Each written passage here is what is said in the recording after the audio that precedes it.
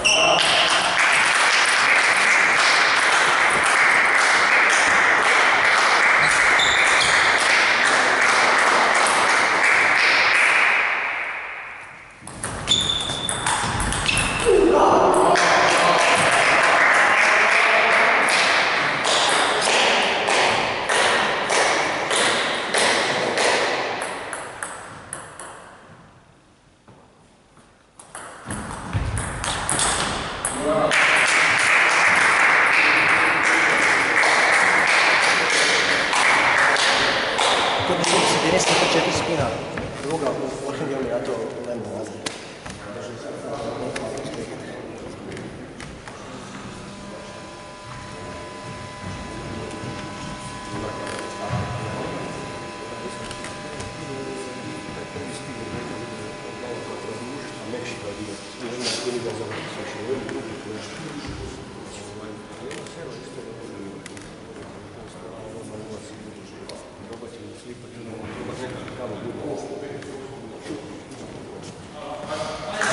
Gilly Scott.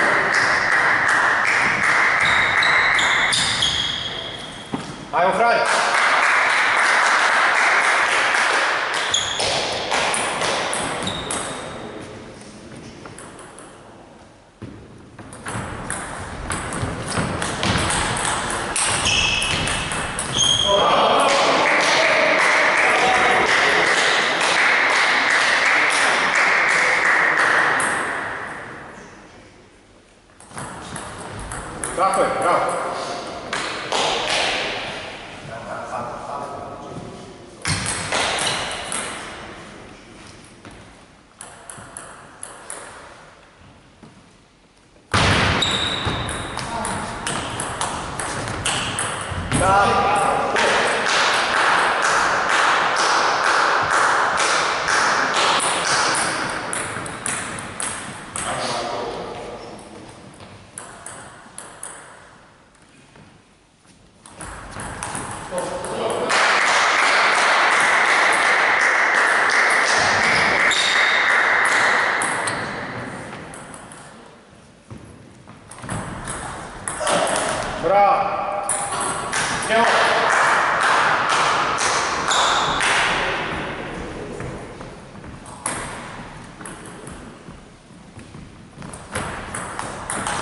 Oh.